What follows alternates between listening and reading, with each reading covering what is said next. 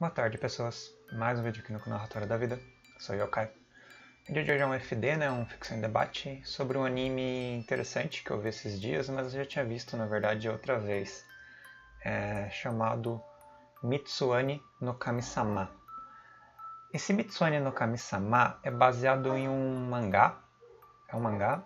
É um mangá de um volume único. É, ele é um filmezinho também de 30 minutos. É um OVA de 30 minutos. OVA filme de 30 minutos de 2015. E o mangá de 2013. É, então, qual a história desse anime em específico? Um anime que não, os personagens não têm nomes. Que são personagens um tanto quanto caricatos, assim. E o que, que aconteceu, né? De acordo com a... Como é difícil você pegar a história vendo o, o OVA, ele tem uma sinopse aqui, eu vou passar para vocês junto do, da gravação da tela, para se dar uma lida. Então temos aqui no Anime Info a sinopse dessa, desse OVA. E ele diz mais ou menos que teve uma catástrofe natural, né? que teve uma espécie de terremoto e maremoto muito violento e causou um grande desastre, talvez até nas usinas nucleares, e um grande desastre humanitário em geral, e mudou completamente a vida das pessoas. E o OVA nos apresenta uma menina muito solitária, ela tinha pais, né? Mas vieram a falecer. E ela não tem nome, é uma garota solitária de tranças que mora numa casinha isolada. E ela fica lá vivendo a vida dela cotidiana e a história é apresentada não pelas falas dos personagens, porque os personagens não falam, quer dizer, eles falam, mas não tem dublagem, né? Não tem é, vocalização das falas dele, mas os objetos ao redor, tipo pregador de de roupa, a cadeira, a almofada, o caixa de correio, os objetos têm personalidade, né? E tem fala. Vou cortar aqui. Ah, dá pra vocês aproveitar que está gravando a tela, vocês podem ver também a sinopse aqui no, Anime List. Essa aqui é do anime, tem uma nota razoavelmente mediana, mas é bom, é bem legal. Depois eu falo o problema dele. Mas aí vocês aproveitam e já vê também. Ah, não sei se podem ver, tem a equipe aqui, mas não tem dublador. Quer dizer, o dublador, no caso, é o que dubla o objeto mas um dos personagens principais não temos. Temos aqui um mangá também, que é um mangá interessante que eu gostaria de ler, mas ainda não, não, não, é acessível, né? então não posso ler. Mas então, é, essa garota de tranças, ela vai a vida dela cotidiana, é, rotina assim, tipo, lava roupa, e ela é monitorada. Ela é uma espécie de. Eu diria até de cobaia. Ela é uma espécie de cobaia ela fica morando na casa dela, só que ela é monitorada por cientistas ou por epidemiologistas, não sei ao certo, e a saúde dela é monitorada, ela ganha é, mantimentos para se manter na casa, ela não trabalha, ela vive ali de boas. E a rotina dela é essa, é tratar da casa e ficar à toa. E sozinha, né? Porque os pais morreram. Não mostra como os pais morreram, provavelmente em decorrência da catástrofe. Só mostra ela vivendo o cotidiano dela e alguns outros personagens, tipo um carteiro, sucateiro, carteiro, que é um garoto, que não tem para quem entregar cartas, porque não tem mais pessoas. A cidade colapsou, pelo menos naquela região. Então fica muito nublado o que aconteceu de fato com decorrência dessa catástrofe natural. A gente só sabe que tem ali o menino carteiro, que tem a menina que mora ali, tipo cobaia, que tem os cientistas que monitoram ela, tem um grande muro com um vilarejo assim, que parece uma fazenda, onde os cientistas, além de monitorar, eles transplantam órgãos e partes do corpo de um ser humano para outro e não se sabe se esses seres que estão sendo transplantados e assassinados estão doentes ou são tipo um, animais de, de, de, enfim, tipo um animal de cultivo, né, para dar os órgãos para outras pessoas é, ou os membros. E não é mostrado muito certo como a sociedade funciona. Só é mostrado que a menina é muito bem tratada e muito bem monitorada, não é agressivo nem nada. E ela convive com, com um ambiente estéreo, mais humano, que é o que sobrou e os objetos que falam o que acontece no mundo, né? O que está acontecendo com o dia a dia, enfim, essas coisas. E esse menino carteiro, que é o sucateiro também, que ele vive numa espécie de sucateiro, ele vive num, num, lixão, né? E ele visita ela e entra em contato com a menina das tranças e ele vai descobrindo as coisas sobre o mundo. Ele vai descobrindo que ele é cobaia também, né? Que ele é objeto de, de peça de reposição para outros seres humanos que não sabem quais. E mostra também quando ele é capturado, barra levado, não, não tem uma segurança, não tem um exército militar. Ele é conduzido para um laboratório e fica ali de boas. Ele pode sair, circundar de boas, né? não é, não está preso de verdade. ele encontra uma doméstica ali, uma menina que faz a limpeza que não tem um braço. E eu não sei o certo porque ela não tem um braço.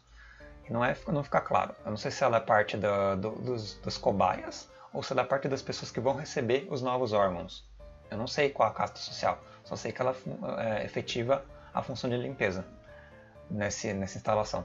E esses cientistas adversos aí que fazem até uma festa para despedir-se das pessoas que aparentemente vão doar os órgãos como se fosse várias pessoas em casinhas, em fazendas, que vão morrer e abraçam isso e quando elas vão uh, dar a sua vida para ceder os seus órgãos, ceder os seus membros, elas, elas literalmente festejam assim antes da morte, o que é estranho.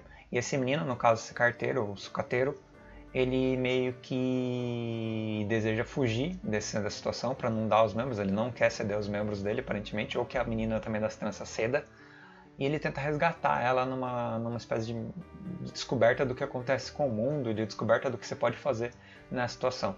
É uma história um tanto muito diferente e um tanto quanto estranha, porque ela não tem informação suficiente para você interpretar.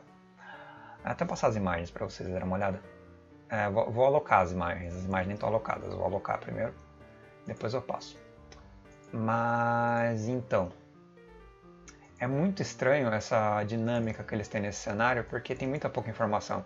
E os objetos eles vão falando e se, se comunicando e dialogando, enfim, é interagindo, é, passa agora, é, uns com os outros e, e fica mais ou menos nessa metáfora de que a gente envelhece, a gente tem que ceder as nossas partes para o meio ambiente e a gente fica obsoleto e a gente é transitório, né? A gente cede aquilo que a gente tem, aquilo, que a gente tem de mínimo, né?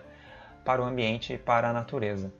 E os humanos também não são nada mais do que objetos e eles também têm que ceder as suas partes para a natureza ou para a sociedade. E é essa a mensagem do anime. E aí tem todo o processo de fuga do sucateiro barra, barra carteiro, do garoto lá que sobreviveu, não conta a história dele, não conta a história ao certo dessa menina das tranças, a gente fica bem no vácuo.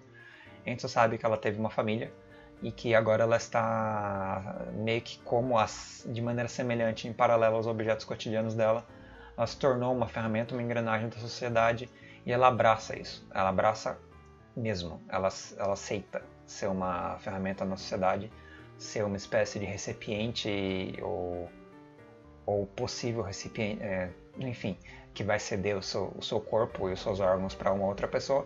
Não se sabe a condição física dela, sabe que ela é monitorada, não sabe a condição física. Sabe-se que esse garoto carteiro sucateiro tem um colapso físico, provavelmente ele está doente, não sabe-se o que, que ele tem mas ele tem um colapso no meio do anime. Enfim, é estranho. Mas o traço é muito bonito, é, a, a, narrativa é interessante pra caramba, é interessante mesmo, sabe? É, é muito, é, como posso dizer, imersivo o anime. Você começa a ver e na hora ele acaba, porque ele dá um, um ritmo muito bom. Ele, logicamente, é um pouco frustrante porque ele é aporético, o fim dele é muito aporético. Ele acaba, simplesmente acaba. Acaba, deu os 30 minutos, o anime acaba e fica nessa. Então a gente fica completamente no vácuo sobre o que está acontecendo. No caso, essa menina que passou anteriormente era a menina da, da limpeza, uh, que o menino conhece na, na, instalação lá. Então, e por ele ser aporético, ou seja, não ter uma resposta, não ter um desfecho, ele é muito estranho.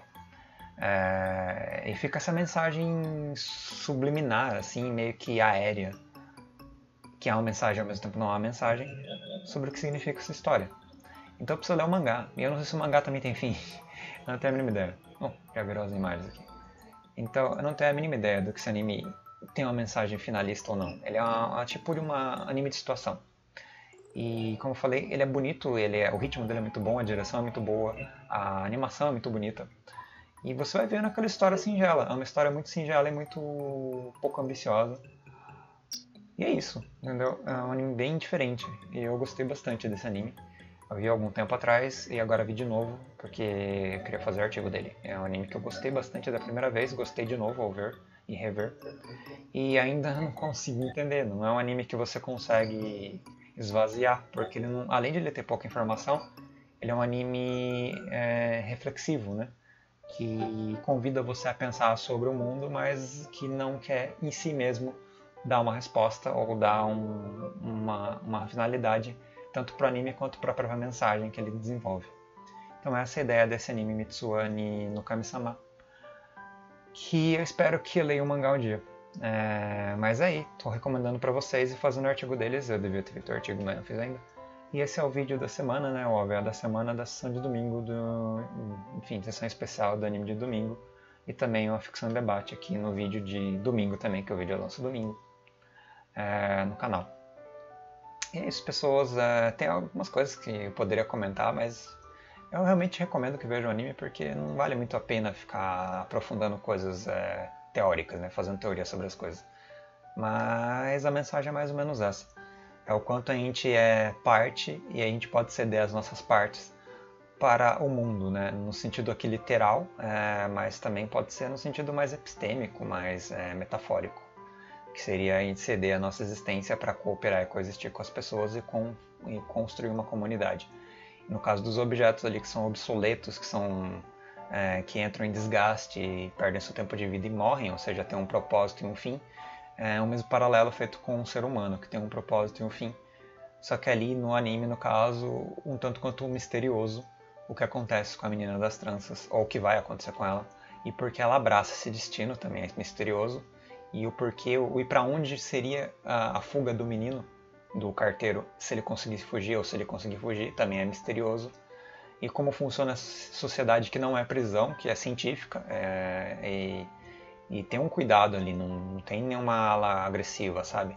É muito misterioso. É um anime divertido. Mas é isso, pessoas. Obrigado por me ouvirem e até um próximo OVA ou filme de domingo uh, pra gente debater aqui um pouco e, e me recomendar para vocês que não viram e quem já viu, debater aqui também nos comentários se quiser. Mas é isso aí, até mais.